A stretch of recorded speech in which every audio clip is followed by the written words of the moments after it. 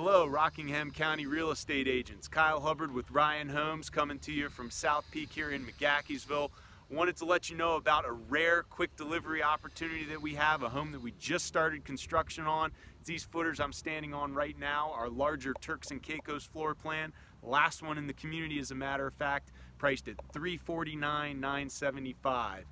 And I'm on the uh, future covered porch location not too shabby for uh, enjoying your morning coffee with these fantastic Massanutten views behind me.